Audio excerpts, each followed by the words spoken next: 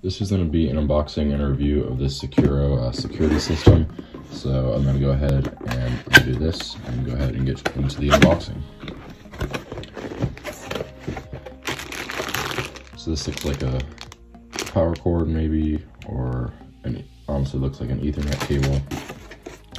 And then kind of like a quick start guide and user's manual. And then we have some more boxes I'm gonna put aside here.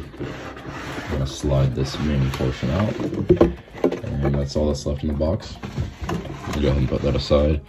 So this looks like the, um, honestly like a little tablet type thing that you can see what's going on. Comes in this uh, nice and secure bubble wrap here. Go ahead and tear this open to see what we're working with here. Comes with some thank you notes, those are always nice. Has a protective film over the screen. You can take that off we're using. Uh, this thing looks pretty cool. It has like a home button right here. Um, this is the uh, slot for the cord that we saw earlier, which is right here. So continuing the unboxing, this looks like a uh, one of the cords here that's already attached to the uh, security camera that it comes with.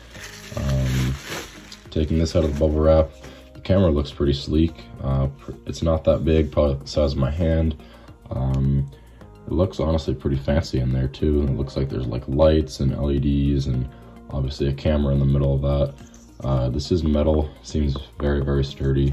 Um, looks like you can unscrew this thing so you can kind of swivel this and aim the camera where you want it to point at. This is a pretty long cord, so I don't have a doubt that uh, I wouldn't be able to reach where I need to plug this into. It's definitely long enough for anything that you need to run to or reach it to. And then this thing right here, this looks like some screws and some tools to set it up and probably instructions on how to do so. But yeah, let's go ahead and look into this a little further. So opening up, there's two of these boxes right here opening these things up. I assume this is a cord that connects to this one right here. Yeah, that just kind of goes in right there. And uh, the good thing about this is this, um, the plug-in actually starts like right about here. So this kind of works as like a waterproof seal. So the electronics don't fry out if it's outside in the rain. And then taking a look at this box right here. This is another power cord. Maybe this is to plug into the um, the tablet right here. It looks like you can plug it in on the side right there. And yep, it fits right in, I guess that's how that charges. So let's go ahead and plug this thing in and see what we're working with. So I now have this thing plugged into the wall, and then go ahead and take off this protective film here that's covering the screen, set that aside, and then once you plug it in, there's this little orange thing telling you how much battery it has. Um, there is a little switch right here on the side that you flip on, and once you flip that on,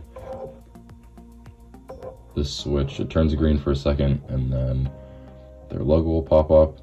And this is basically saying that there isn't a camera detected. It has the time and date down here as well as some other uh, features that I really don't know what it is yet. So once you press the home button, there's uh, six little uh, settings right here. Uh, this thing's completely touchscreen, which is pretty cool.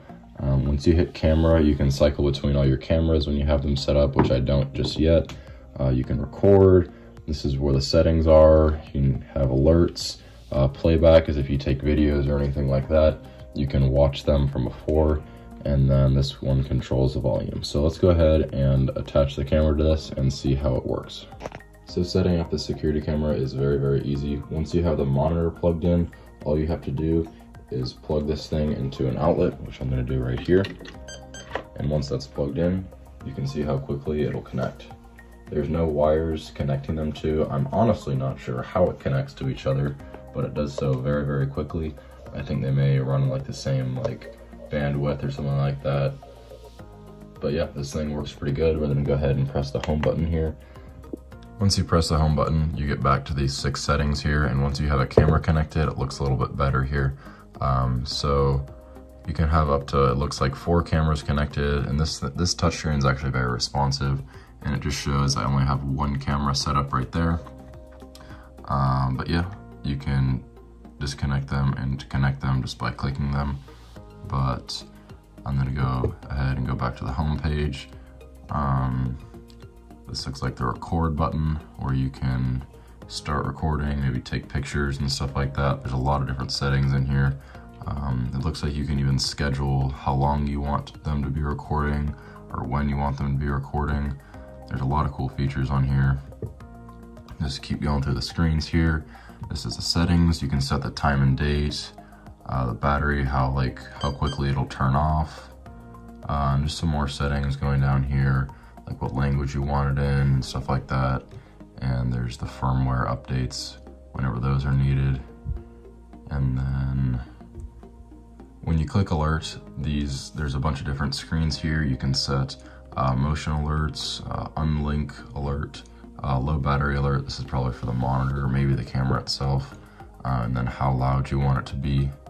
And then playback is if you have any videos or photos or anything, you can see them right here in the files. And then volume.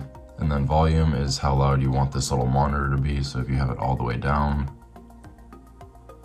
you can hardly hear it. But if you click the loudest one, it gets a lot louder. And having it this loud would be pretty helpful if this is not somewhere near you, like whether it's at your front door or in the kitchen, you can definitely hear this from far away. So overall, this camera works great.